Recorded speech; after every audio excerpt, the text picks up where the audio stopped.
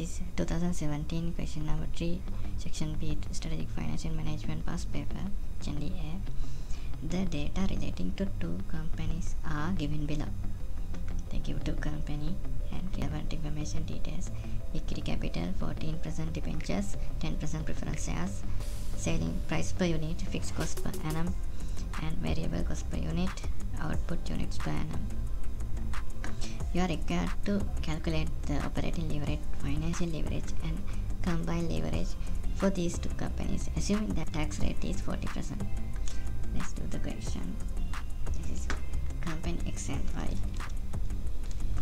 and uh, then they give us first selling price per unit because we need to find the contribution so first we need so that we get first selling price per unit selling price. Is uh, 80 and 60 next they give us the variable cost 20 and 16 fixed cost. 16 and fixed cost is uh, 1600 next we need to get we can get the contribution.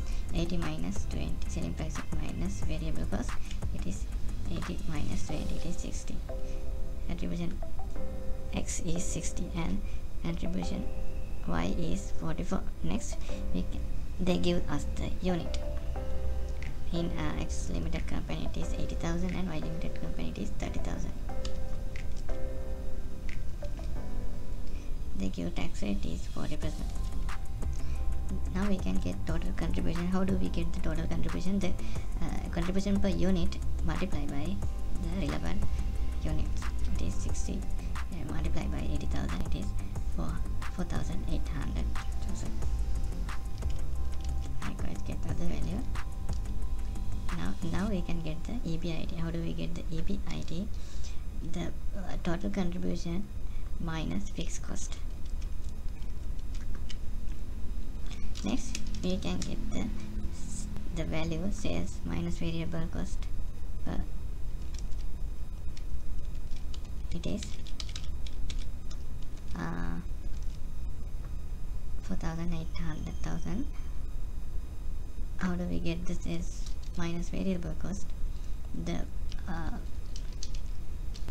contribution per unit multiplied by 80,000 contribution per unit multiplied by 80,000 it is uh, 400,000 sorry 4,800,000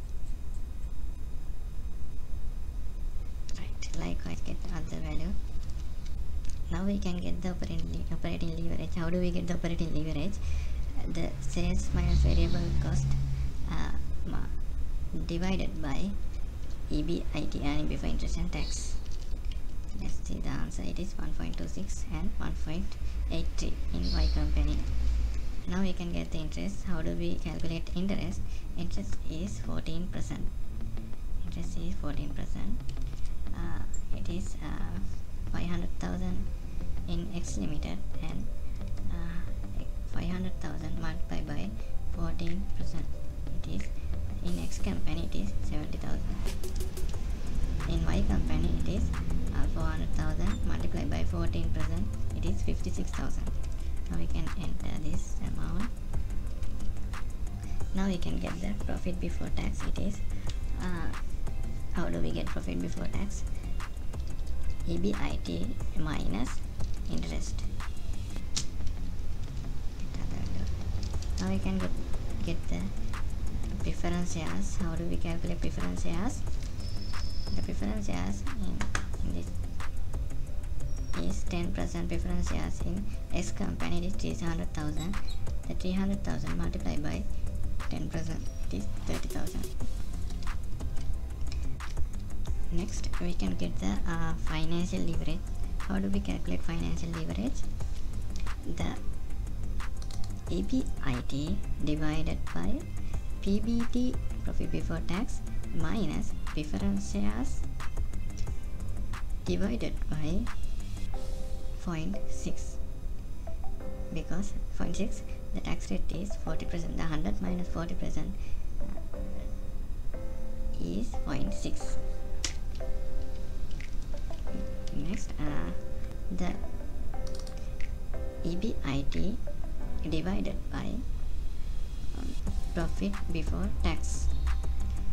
There are no any differences so it is 1.08 now we can calculate the combined leverage.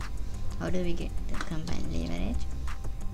The operating leverage multiplied by financial leverage is uh, 1.3 and 1.98